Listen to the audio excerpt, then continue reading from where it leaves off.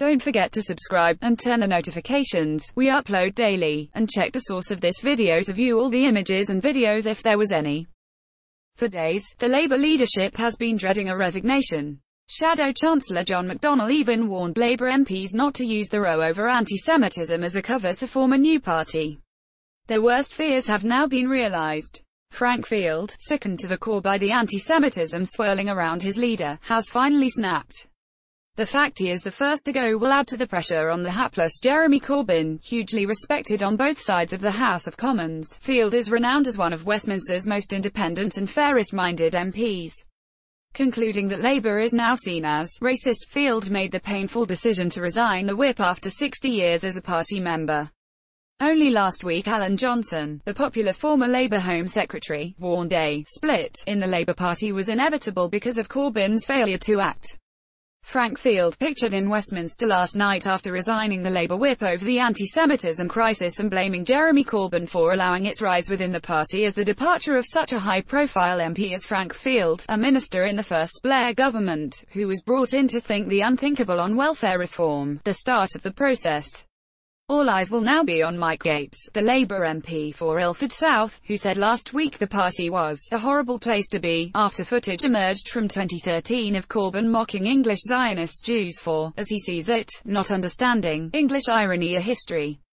It was this recording which provoked the astonishing and rare public intervention from former Chief Rabbi Lord Sacks, who said the remarks were the most offensive by a senior politician since Enoch Powell's infamous Rivers of Blood speech in 1968. Frank Field was dumbfounded by the response of Corbyn's office, who mocked the Powell comparison as absurd and offensive. It was the final straw. For 48 hours, Field agonized before finally deciding he had no option but to go. But it's not just the race row which has driven this leading political figure to make this dramatic gesture. Though he has served as an MP with distinction for nearly 40 years, a tiny minority of left-wing agitators, less than 10% of constituency party members passed a vote of no confidence in him last month for siding with the government over Brexit. Field's decision to join three other rebel Labour MPs in that vote was based on his own long-standing Euroscepticism, and the fact that his constituency on the Wirral voted in favour of leave. Ever since Corbyn was elected leader in September 2015 Frank Field has been locked in a grim battle for survival with his local party. Frank Field pictured in his office in 1973 when he was the director of the Child Poverty Action Group. He became the Labour MP for Birkenhead in 1979. Members of Momentum, the hard left group set up to bolster Corbyn's leadership, recently seized control of the levers of his local party, hence the vote of no confidence. They targeted Field even though he is a man who has campaigned on behalf of the poor for decades and whose moderate, Christian values are respected by the party's traditional voters. On social media there has been a constant torrent of abuse directed at Field who, in the summer holiday, spent days on end in his constituency supervising food runs for children who are in receipt of free school meals during term time. The agitators who targeted Field are part of the same hate mob that's trying to deselect other moderate MPs, and taking over Labour councils across the country. This gang of agitators is riddled with bullies and anti-Semites whose behaviour is threatening the biggest split in the Labour Party since the breakaway SDP in the early 80s. When Field talks in his resignation letter of a culture of intolerance, nastiness and intimidation, he means the momentum thugs who have made his life a misery. But then it's not the first time Frank Field has been under attack from an enemy within his own party. His bravery goes back to the 80s when, just as now, he was challenged by the hard left in his constituency.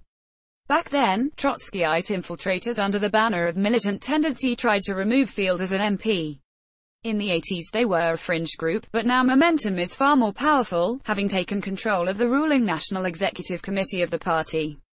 Ever since Jeremy Corbyn, pictured last week, was elected leader in September 2015, Frank Field has been locked in a grim battle for survival with his local party. Over the years, Field has stood up to many powerful interest groups. It is he who is leading the campaign to strip the knighthood from retail tycoon Sir Philip Green after his shameful behaviour over BHS. That fearlessness means that over the years, Field has survived 3D selection attempts by militants and has vowed that Labour's moderates will never give up without a fight. Only the other day, I overheard him in the Commons, where he was hard at work even though Parliament is in summer recess, declaring, Why should I leave the Labour Party? It's been my entire adult life, its measure of how low Labour has fallen under the malign leadership of Jeremy Corbyn that a good and honest man like Frank Field can no longer square his conscience with remaining. If the situation doesn't change before the next election, Field, 76, will fight as an independent Labour candidate. With a 25,500 majority and a huge personal following, having been the MP since 1979 the chances are he might win the seat, thus denying Labour one of their safest seats. Will other Labour MPs sickened by the extremism, the bullying, the anti-Semitism and intolerance, now do the right thing and follow suit?